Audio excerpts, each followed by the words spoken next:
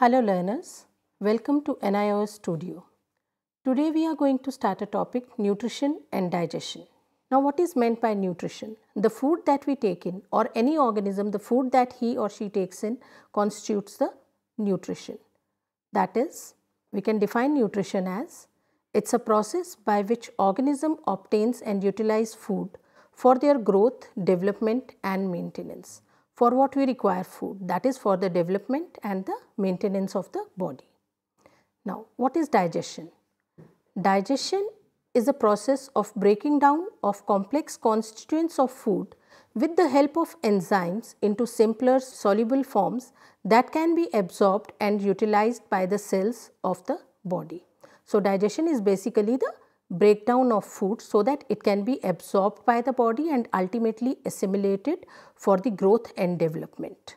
Now, the nutrition can be of two types basically autotrophic and heterotrophic. Autotrophic means all the green plants, auto means the self and troph means the food. All the green plants and certain bacteria which manufacture their own food with the help of inorganic substances, carbon dioxide, water and sunlight. Green plants, you all know they contain a pigment which helps in capturing the sunlight and with the help of carbon dioxide and water, they change it into the glucose molecule. Then heterotroph, heterotrophic nutrition, hetero means the uh, different and troph is a food. So, the organisms which depend upon the autotrophs for requirement of the food or on the other heterotrophs. Now, food organic and inorganic substances obtained by feeding on other organisms. That is how we can define an heterotrophic nutrition. Now, heterotrophic nutrition can again be of three types that is the holozoic, saprophytic and parasitic. Holozoic is the organisms which engulf the food into the body, digest it and absorb the soluble products of digestion as in humans we have a holozoic mode of nutrition. Then saprophytes. Saprophytes are the organisms which depend on dead and decaying matter. We can say they are the ones who clean the earth. Organisms they secrete the digestive enzymes onto the dead organic material and absorb the product of digestion. And the example of the saprophytes are the fungi and the bacteria. Then the third mode of nutrition is the parasitic. Parasitic organisms, they depend on other organisms for their food and ultimately they harm them. They, the food is derived from other living organism on or inside their body like you know of the roundworm, tapeworm and then in plants it is the cuscuta. Now what are the major components of food? What is what are the chemical sub substances which make up the food are basically the three main components of any food is the carbohydrates, fats and proteins. Now what are carbohydrates? Carbohydrates as well as fats and proteins they all are the organic compounds. The carbohydrates are the compounds of hydrogen, oxygen and nitrogen. And the example of the most common carbo carbohydrate is the glucose or the sugars that we take, starches, fiber. And they are found in grain, fruits, vegetables. Most of the foods that we eat or any organism eat contains the carbohydrates. Then proteins. Proteins are again the organic compounds which are made up of carbon, hydrogen, oxygen and besides that they contain another element that is the nitrogen and the rich source of proteins are the milk, uh, beans, all the pulses and legumes, they are rich source of proteins. Now, the third is the fats. Fats are made up of fatty acid and glycerol. They are again organic compounds which are rich in carbon and hydrogen and they have very little oxygen. and they are insoluble in water. Example of fats are all oils that we consume for cooking our food and uh, the most common one is the coconut oil. So, the basic components of any food are carbohydrates, fats and proteins. Besides the food also contains minerals, vitamins which are very essential for the body function of an, any organism. Now let's move on to the digestion and what are the steps of the Holozoic digestion in Holozoic organisms. First, there are major five steps in the digestion process. First is the ingestion. Ingestion is taking in of food, chewing or sucking or swallowing. That will all constitute the ingestion.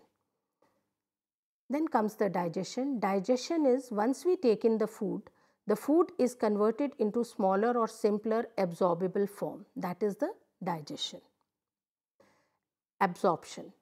That is absorbing the digested food from the gut to reach the body tissues. So, once the food has been digested, that small particles or the small molecules have been made. Say in the case of proteins it is amino acids. In case of carbohydrates it is the monosaccharides mostly glucose galactose or fructose and in case of fats it is fatty acid and glycerol. They are all absorbed in our small intestine. So that is the process of absorption. The next step in the holozoic digestion is the assimilation.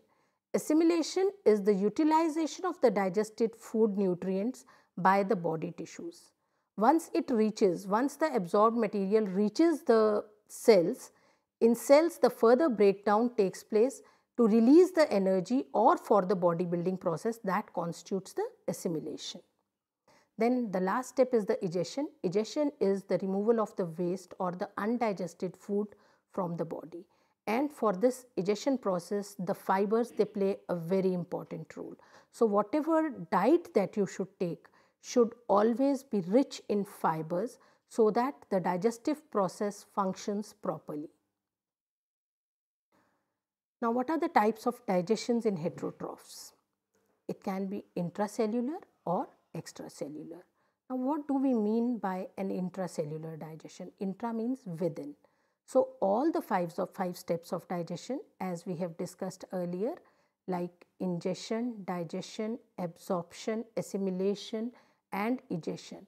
When they takes place inside the cell only, then it is an intracellular digestion and it the example of intracellular digestion is the amoeba, paramecium, amoeba and paramecium are the protozoans and uh, any free living unicellular organism they show the intracellular digestion because one cell they are unicellular and all the life processes are being taken care by that particular cell. Now moving on to the extracellular digestion. Extracellular digestion the example is all the animals they show the extracellular digestion multicellular animals. Now digestion occurs outside the cell that too in a tube like structure or a canal or a cavity. Maybe you must have seen the alimentary canal in the structure of the alimentary canal in the books and it appears to be a tube like structure open at two ends. One is at the mouth and other is at the anus. Besides this intracellular and extracellular digestion, there are few organisms like Hydra which show both the types of digestion in one organism intra as well as extracellular. The example is Hydra, they capture the food with the help of tentacles on their body. Uh, they digest it in the uh, cavity in their body and part of the di di digestion also takes place inside the cells lining the cavity. Now, the example of the intracellular digestion I can show you through a diagram. This is an amoeba and as you can see there is a red colored bacterium Around the bacterium, there are two structures protruding out. You know that amoeba, it forms a pseudopodia. Pseudopodia is a false foot. These two structures which are protruding out are the false foot or the pseudopodia. Now, ultimately, in the next step, you have seen that it has rounded off the bacteria through its pseudopodia into the cell and forms a phagosome then lysosome releases the enzymes into the phagosomes and make it a phagolysosome. These enzymes like ingestion has taken place in the first step, then now the digestion with the help of an enzyme is going on. All the nutrients which are required will be taken up by the cells and the waste has been thrown out as a soluble debris or the process is known as the exocytosis which we call as egestion. So, as you can see in the amoeba, all the five steps of digestion are being taken care of by a single cell.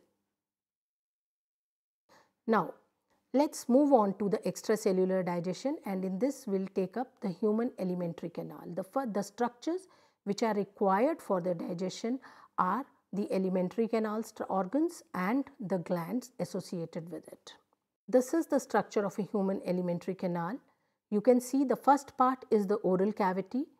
In that you can also see a tongue and certain glands that is the uh, salivary glands, parotid, submaxillary and sublingual which are present around the oral cavity. Then there is a tube-like structure extended from the mouth and esophagus. Beneath the esophagus, you can see a round J-shaped structure. The color of that stomach, that is the stomach and it is the color is exactly same as that of the esophagus. Over the stomach, there is a leaf-like structure with uh, the veins that we see in the, v, uh, in the leaf are present on that and that is the pancreas. Over the stomach you can see a gland, the liver. Beneath the liver there is a green structure known as the bile duct and the secretion of the liver and the pancreas, both these glands are thrown into the duodenum through a common duct known as the hepatopancreatic duct. The stomach extends into a small intestine. Small intestine has three parts, duodenum, jejunum and the ileum. The small intestine then moves on to the large intestine and ultimately the waste product is digested through a anus. The first structure is the mouth. Mouth contains the teeth. The teeth they help in breaking down the food into smaller particles. Why do we need to break the food into smaller particles? So that the enzymes can act on it by increasing the surface area and the digestion can go on in a better way. Then comes the work of the tongue. Tongue mixes the food with saliva which contains the enzyme salivary amylase. This particular enzyme works at pH around 8, 7 to 8 and they help in breaking down the carbohydrates. The third structure present is the epiglottis. Uh, it's a flap-like structure at the back of the throat and uh, it closes over the trachea so that the food doesn't enter into a windpipe. Then after the mouth comes the pharynx Pharynx is a common tube-like structure or a common passage for the air and the food. After pharynx is an esophagus as I have already discussed. It is again a tube which moves food from pharynx to the stomach using muscle movement called peristalsis and it also secretes the mucus. Mucus is a substance which protects the inner lining of our uh, esophagus, stomach and small intestine. Then after esophagus the move uh, the food that is a bolus passes on to a stomach. You can see the structure of a stomach beneath it's a J-shaped structure. It's a muscular bag located below a diaphragm in our body and food found in stomach is now known, known as the chyme. As long as the food was there in the esophagus, it was a bolus and once it moves into the stomach and after the action of certain enzyme, it changes into a chyme. After stomach, the partially digested food moves on to the intestine which is a long coiled folded tube present in the abdomen and it has the three parts that is I have already told you duodenum, jejunum and ileum. Here you can see the in the diagram below Duodenum is a very small light yellow colored structure and bluish color structure, structure is the jejunum and the pink one is the ileum which is the longest. The small intestine is a very long tube around 7 meters long. It is long because here the absorption of the digested food takes place in the body with the help of special lining present in the small intestine. Small intestine extends into a large intestine which has three parts that is cecum, Cecum is a pouch at the junction of small and large intestine. Then there is a colon. Colon has three parts as you can see in the structure above. It has a ascending colon, a transverse colon and a descending colon. The colon ends up into a next structure known as the rectum and rectum has two parts as it is quite evident in the structure above. Um, one is the rectum and an anal canal through which the food, the waste material moves out of the body. Now, moving on to the cells which secretes the enzyme which, happen, uh, which helps in the digestion. There are the glandular cells which are present on the lining of the stomach and the intestine and they pour their secretions directly into the alimentary canal. These cells are present in stomach as well as in the intestine. Then there are certain glands which help in the digestion such as the salivary gland, liver and pancreas. They pour their secretion through a duct into the alimentary canal. Then let us move on to the salivary glands, the first glands. They are located below each ear is the parotid glands. Parotid glands are located below, below each ear on this side. They produces the watery saliva rich in amylase which breaks down the starch. Then there is a submaxillary gland which is present close to the inner side of the lower jaw and it produces the water and mucus. If any of you have ever visited the dentist, you must have observed when you have to keep your mouth open for long, there is a lot of secretion of water and that is the submaxillary glands and the sublingual uh, glands which are secreting this substance. Then the sublingual lingual glands are present below the tongue and they produce water and mucus. Now, this is a diagram which shows the positioning of various glands. Uh, you can see a yellow colored parotid gland beneath the ear and the sublingual gland that is present beneath the tongue and the submaxillary which is present near the jaw. Now, what are the functions of saliva? Saliva cleans the mouth cavity by killing the germs with the help of lysozymes. Then it also moistens and lubricates food which helps in swallowing. Otherwise, if the food is dry, we won't be able to swallow it. Then the third is they produce the salivary amylase. It's an enzyme and I think you all know that enzymes are all proteinaceous. They are made up of proteins. So this salivary amylase, it digests the starch and converts it into a sucrose. Sucrose is a disaccharide and starch is a polysaccharide. Polysaccharide means it is made up of lot many units of monosaccharides which are joined together. And disaccharide is a compound which is made up of by joining of two monosaccharide units. So, the big molecule starch has been broken down into a small molecule sucrose with the activity of salivary amylase. We have studied the one gland that is the salivary amylase. Now, we will move on to the next gland that is liver. You can see it is a brown structure which is present in the figure and liver is one of the largest glands. Besides the digestive function, it has lot many a very important role to play in our body. It plays a very important role in our body and it is the largest gland. It secretes bile that is stored in the gallbladder. The green color, color structure beneath the liver is a gallbladder which stores the bile.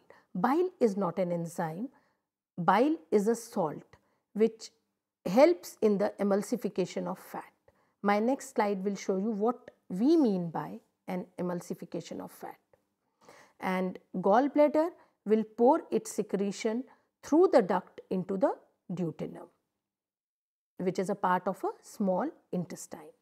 Then pancreas. Pancreas are present near to the stomach and they produce hormone insulin which controls the blood sugar level and pancreatic juice also is secreted by the pancreas and they neutralize acid in chyme. Chyme you know the food that is there in the stomach. And some enzymes which break fat, protein and starches are also produced in the pancreas and they are all uh, moved to the duodenum part of the small intestine through a hepatopancreatic duct which is a common duct for a liver as well as the pancreas. So, bile as well as all the enzymes from the pancreas will move to the duodenum through a common duct known as a hepatopancreatic duct. This slide shows the emulsification of fats. The light yellow colored structure is a fat and the green small small lines are the bile salt. What will happen? The big droplet of fat is surrounded by lot many uh, molecules of bile salt and this bile salt will break the big droplet into very small molecules and on these smaller molecules now the enzyme lipase can act and break it into fatty acid and glycerol. This emulsification of fats this leads to uh, increase in the surface area on which the enzyme can act easily and break down the fat. With this I think the structures which are involved, the body organs which are involved in the digestive process and the glands which are involved in the digestive process as well as the enzymes which ultimately helps in the digestion of the food is quite clear to you. So, with this we end this session and in the next session we will we'll go further on how the absorption and further breakdown of food and the absorption happens in an organism. Thank you.